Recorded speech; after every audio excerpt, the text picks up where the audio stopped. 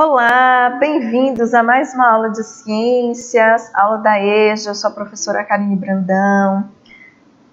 A nossa aula de hoje tem como tema o ar e as suas características. E aí, para começar a nossa aula, né, para dar as boas-vindas a vocês, eu trago essa frase da professora Zélia Ludwig, que ela diz o seguinte: a gente aprende com o erro e o acerto. Então, cotidianamente a gente consiga aprender com os nossos erros e com os nossos acertos. E aí, para a nossa aula de hoje, né, eu trago a música de Toquinho, que se chama O Ar. E ela diz o seguinte: Estou vivo, mas não tenho corpo. Por isso é que não tenho forma. Peso eu também não tenho. Não tenho corpo. Quando sou fraco, me chamo brisa.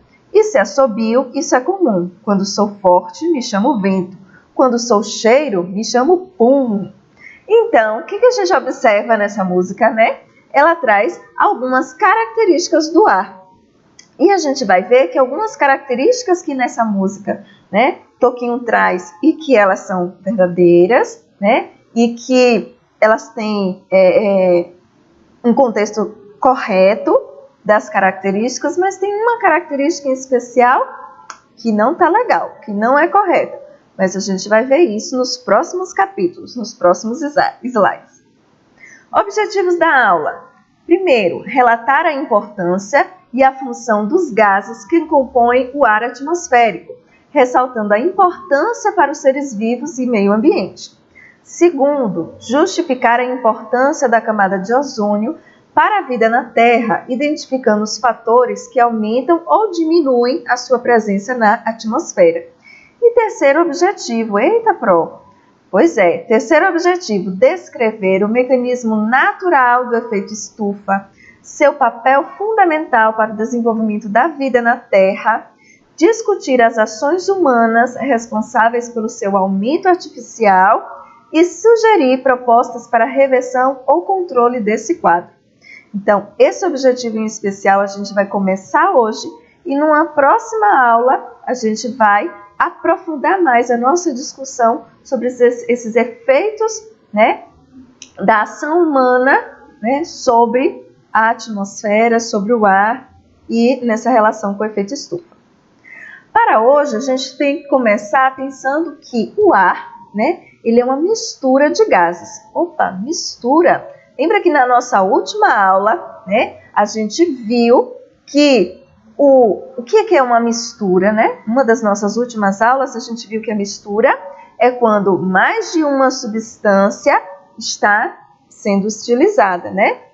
É uma mistura de substâncias. E o que, que a gente pode observar aqui? A gente já pode observar que o ar atmosférico, né, que está aqui no nosso ambiente, 78% dele é constituído, né, é formado de gás nitrogênio, certo? É um gás que para nós, né, nós inspiramos ah, e colocamos para fora essa mesma proporção de gás nitrogênio. Nós não utilizamos ele, tá?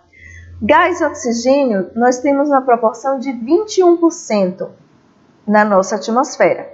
Gás carbônico, 1% e todos os outros gases menos de 1%, tá? Por que, que a gente precisa observar e saber disso? Porque aí com essas proporções a gente começa a perceber que existem vários gases diferentes compondo, né, fazendo parte do que nós chamamos de atmosfera. Então, nós vamos ver as propriedades do ar, que o ar, além da sua composição, né, desses diversos gases, a gente tem propriedade, as propriedades do ar. Uma delas é massa. O ar, ele tem massa. Se a gente faz um experimento, né, de pe pegar uma bexiga de, de festa, um balão de festa, e eu vou encher essa, esse balão de festa. Só que antes eu coloco na balança essa bexiga murcha, sem eu ter feito nada com ela, e vejo o peso, vejo a massa, né? E aí eu encho esse balão de festa, né, essa bexiga, amarro e vejo o peso de novo. A gente vai observar que aumenta a massa da bexiga, né? A massa desse balão de festa. Por quê? Porque agora tem ar e o ar ele tem massa. Além disso, esse ar ele está ocupando o quê? Espaço, né? Ele ocupa o espaço da bexiga. Ele é um, é um, um espaço é, definido? Não, vai ser um espaço variável. Mas esse espaço é ocupado, então o ar ele também tem volume. Uma outra propriedade que a gente pode observar no ar é nesse experimento aqui à direita, né? Quem tiver uma seringa sem agulha, por favor, né? Para não termos acidentes.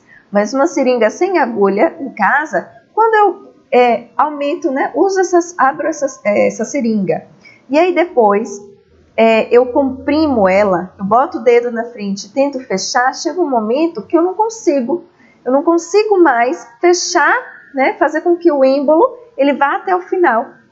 Por quê? Porque existe o ar ali dentro que está ocupando um espaço. Além disso, esse ar ele está sendo pressionado, ele está sendo comprimido. Então, o ar tem a propriedade de compressão, ele pode ser comprimido, diminuir o seu volume. Só que ele também pode ser expandido, né? aumentar o seu, o seu volume.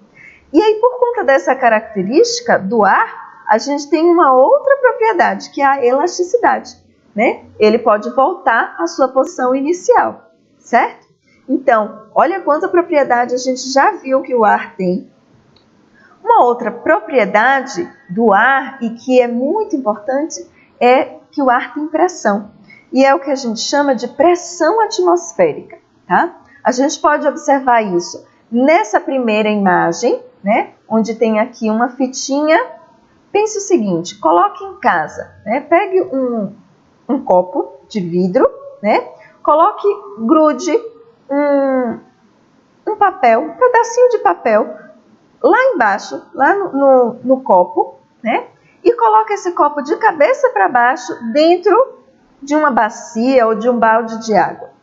E aí depois tente tirar esse copo. Quando você tirar esse copo da água de cabeça para baixo, o papel vai estar molhado ou vai estar seco?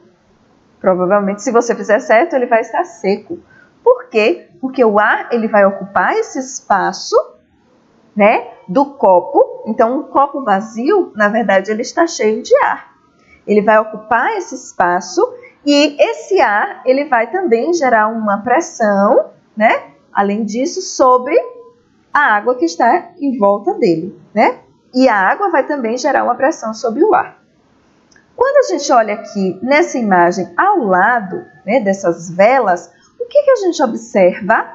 Pro, o que, que aconteceu aqui? Que toda essa água que estava fora do copo, ela começou a entrar no copo, porque a pressão atmosférica, né, é, que estava fora do, ao redor do copo, fora dele, começou a empurrar esse líquido azul para dentro do copo. Então a gente começa a perceber que existe uma pressão, que o ar que está aqui no ambiente, que é chamado de ar atmosférico, ele faz pressão sim sobre nós, inclusive sobre esse líquido e essas velas. Tranquilo? Ok até aqui? Uma outra coisa que a gente tem que lembrar, que a gente já falou um pouco e que tem a ver com o ar e as suas características, né? É a atmosfera. Por quê? Porque a atmosfera é essa camada de ar que envolve o nosso planeta Terra. Olha bem, todo o nosso planeta Terra aí girando, né? Fazendo um movimento de rotação. E ao redor do nosso planeta, o que, que a gente tem? Essa faixa azul, né? Esses círculos azuis aí são a representação da camada, das camadas de ar que envolvem o nosso planeta, que é chamada de atmosfera. Ou se a gente vê, né, de uma outra perspectiva, toda essa estrutura que está sendo vista aí, né, por onde está passando essa, essa câmera, né, ela vai ser o quê? Ela vai ser a atmosfera, tá? E aí, a atmosfera, ela vai ter camadas, certo? E existem essas camadas principais. Pensando da camada mais externa, que está mais afastada né, do nosso planeta, da superfície do nosso planeta, que é onde nós estamos pisando agora, né, até a camada mais próxima. Do nosso planeta. O que, que a gente tem da superfície da Terra? A gente tem a exosfera, termosfera, mesosfera, estratosfera e troposfera. E olha ali, entre a estratosfera e a troposfera, a gente tem a camada de ozônio. Nós vamos ver um pouquinho mais das características de cada uma dessas camadas agora.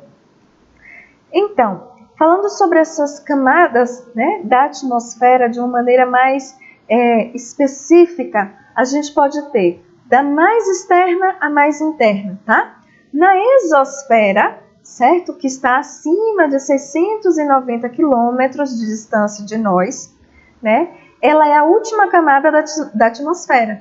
Nela, os gases são extremamente rarefeitos. O que é gás rarefeito pro? Quer dizer que tem pouquíssima quantidade de gás nesse ambiente, tá? E é onde vão orbitar os satélites artificiais, ok? Quando a gente vai para a nossa segunda né, é, camada ou penúltima, pensando da mais externa para mais interna, é, a penúltima camada da atmosfera, nós temos a termosfera, que é uma camada que tem grande concentração de íons, né, também chamada de ionosfera.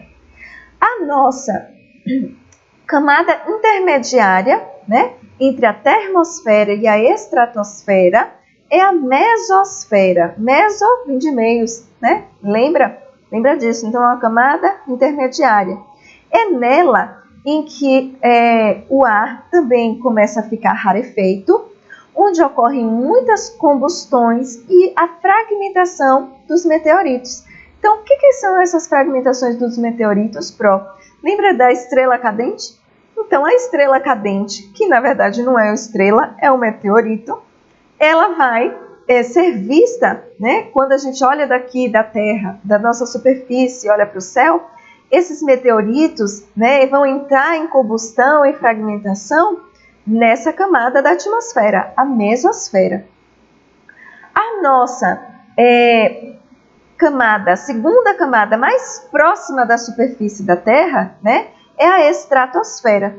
É nela onde está a camada de ozônio e é na estratosfera também que os aviões a jato né, vão sobrevoar o nosso planeta. E é, nós vamos vê-los. Né? É, quando a gente vê, então, um avião a jato no céu, a gente está observando aquele avião na camada da estratosfera. A camada mais próxima da superfície terrestre, que é onde nós estamos, né? onde os seres vivos respiram, né, onde ocorrem os fenômenos meteoro, meteorológicos, como assim, pro a chuva, é, tufão, ciclone, né, furacão, as nuvens, elas vão estar na troposfera, que é essa camada né, mais próxima de nós.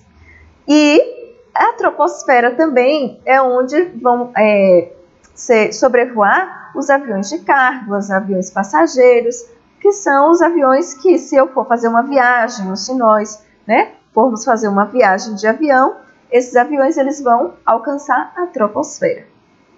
Tranquilo até aqui? Vamos seguindo.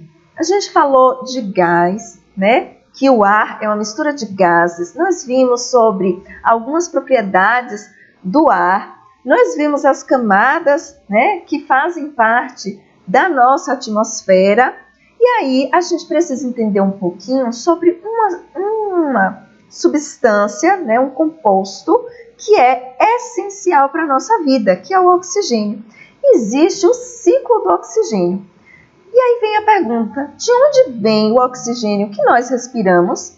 Ele vem da fotossíntese, principalmente a fotossíntese realizada nas florestas, né, pelas árvores, e que é 30% do oxigênio, do gás oxigênio que está na nossa atmosfera, que nós utilizamos para respirar, e 70% desses, desse oxigênio, desse gás oxigênio, ele vai estar, é, ser produzido, né, pelos oceanos. Como assim, pelo oceano, pela água do oceano? Não. Pelos seres vivos, vivos que estão no oceano, que são as algas e o fitoplâncton. Então, a produção do nosso oxigênio no nosso planeta vem, né, da fotossíntese, que é um processo que a gente já viu um pouco nas últimas aulas, né? E esse processo, ele vai ser realizado por algas, por algumas bactérias, né, que fazem parte também desse fitoplâncton pelas plantas, né, e das florestas. Olha que interessante. E como é que é esse ciclo do oxigênio? O oxigênio ele vai ser produzido, então, algas, plantas, bactérias fotossintetizantes e liberado na atmosfera. E aí, na atmosfera, né, é, esse gás oxigênio, às vezes, por conta da luz solar, né, dos raios ultravioletas, eles, ele vai ter algumas modificações, então vai ter uma inconstância. Né? Vai ter gás oxigênio e ozônio, gás ozônio produzido constantemente né, na nossa é, atmosfera. E aí então, nós, seres vivos, né, animais, nós acabamos na hora da nossa respiração absorvendo o que? O gás oxigênio, certo? As plantas também, algumas algas também. E aí, essas mesmas plantas e essas algas vão produzir, através da fotossíntese, esse oxigênio de novo. E ele retorna para a atmosfera. E aí, por isso que a gente diz que é um ciclo, que é uma constante produção e utilização e consumo dessa substância, né, desse gás oxigênio no nosso planeta, na nossa atmosfera. E aí a gente vai para a nossa camada de ozônio. Então a gente já, a Pro já fez um spoiler aqui, né? Falou do ozônio, quando falou do gás oxigênio. O gás ozônio, ele vai ser uma molécula formada de três átomos de oxigênio, tá? E por que, que, por que, que é tão importante, por que, que é tão interessante a gente saber sobre o ozônio, essa camada de ozônio? Essa camada de ozônio, ela serve como uma proteção, como está aqui mostrando, ó, nessas duas imagens, ela serve como uma proteção contra os raios ultravioletas B, A e C. O que, que acontece, Pro? Esses raios, né, vindos do Sol, eles são, eles podem ser muito nocivos para a vida no nosso planeta. Graças a essa camada de ozônio, desse gás de ozônio, que serve como se fosse um protetor solar da Terra, tá? Então, é graças a essa camada de ozônio que a gente, né, consegue ter vida no nosso planeta, né? É, não acontecem tantas mutações que podem gerar, por exemplo, em nós cânceres, né? Graças à camada de ozônio, certo? Então, essa camada de ozônio ela vai barrar ela vai proteger a incidência desses raios ultravioletas vindos do Sol, ok? E aí o que acontece? Ó, a gente pode observar aqui uma porcentagem de absorção desses raios. Os raios ultravioleta do tipo C, eles são 100% absorvidos, né, pela camada de ozônio, então ele não chega à nossa superfície da Terra. Os raios, raios ultravioletas A e B existe uma porcentagem sim que vai ser absorvida e uma outra porcentagem que vai atingir né, a nossa superfície, vai conseguir alcançar a nossa superfície do nosso planeta. E esses raios ultravioletas, eles são sempre maléficos? Não, é graças a eles que nós, nós temos né, uma temperatura também é, no nosso planeta, né, um aquecimento no nosso planeta, tá? Senão nós seríamos um planeta congelado, né, frio, com baixíssimas temperaturas. E não é assim por conta dessa incidência solar, certo? Eles, essa luz solar ela é importante, mas a quantidade e a, a concentração, vamos dizer assim, desses raios né, vindos dessa luz solar, ele precisa ser mediada né, pela camada de ozônio. Tranquilo até aqui? Ok? O que, que a gente observa a gente observa que essa camada de ozônio ela é importante porque é graças a ela que, juntamente né, com alguns gases que existem na nossa atmosfera, que um processo chamado efeito estufa acontece no nosso planeta. Vai, Pro, mas o efeito estufa, ele é bom? Sim, ele é natural, é um processo natural e que acontece de uma maneira positiva no nosso planeta. Por quê? Porque é graças a ele, né, que existe um aumento da temperatura da Terra pela retenção do calor por certos gases atmosféricos, e isso vai fazer com que, com que a gente tenha uma estabilidade na temperatura do nosso planeta, que a gente mantenha uma temperatura amena. O que, que isso quer dizer? Quer dizer que a temperatura para que nós, seres vivos, possamos sobreviver no nosso planeta Terra depende desse, é, desse processo que é o efeito estufa, tá? E quais são esses gases que vão auxiliar, né, que vão servir como uma, uma estufa de plantas, né, para manter, para segurar, para reter essa, é, esse calor vindo, né, da luz do sol no nosso planeta.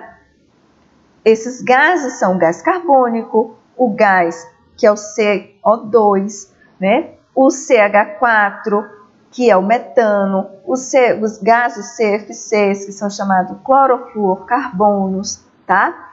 É, o óxido de nitrogênio. Então, o que, que a gente observa aqui? A gente observa que existem gases, né, que vão estar na nossa atmosfera, assim como outros gases, e esses gases em especial, eles vão servir como uma barreira para reter esse calor, né, vindo dessa incidência de luz solar no nosso planeta. Até aí tudo bem, Pro? Até aí tudo bem. Isso é positivo, isso é natural, né? Acontece naturalmente no nosso planeta? Sim, desde antes da existência do ser vivo e da existência do, dos seres humanos no nosso planeta. Qual é o problema então do efeito estufa? O problema é o aumento desse efeito estufa devido a ações humanas tá?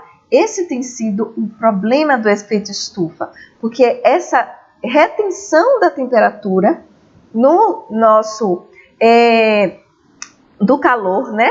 Na nossa camada nas nossas camadas atmosféricas, ela tem aumentado. Isso tem gerado um aquecimento, né? Chamado aquecimento global, um aumento das temperaturas do nosso planeta e não é, mais aquela manutenção daquela temperatura amena. Por quê? Porque constantemente nós estamos liberando esses gases, né, em grande quantidade na nossa atmosfera devido à poluição, tá? E aí isso sim tem gerado vários efeitos que aí vão ser efeitos é, maléficos para nós e o nosso planeta, tá?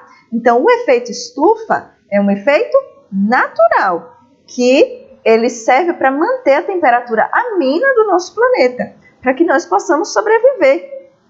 Qual é a questão aqui? A questão é que a ação humana tem feito um aumento excessivo dessa retenção desse calor através desses gases atmosféricos, tá? E aí isso tem gerado consequências ambientais, problemas ambientais para nós e para todos os seres vivos que aqui habitam no nosso planeta Terra. Tranquilo? Entendido até aqui? Então, resumindo a nossa aula de hoje, nós vimos que o ar é uma mistura de gases e vimos as camadas né, é, de ar, as camadas da atmosfera e vimos que a atmosfera é essa camada de ar que envolve o nosso planeta. No mais, né, agora é sua vez de fazer as atividades, de tirar as dúvidas. Eu fico aqui, agradeço, peço que vocês se cuidem, bebam água, usem máscara e entre em contato comigo pelas redes sociais para tirar qualquer dúvida. Até mais, tchauzinho!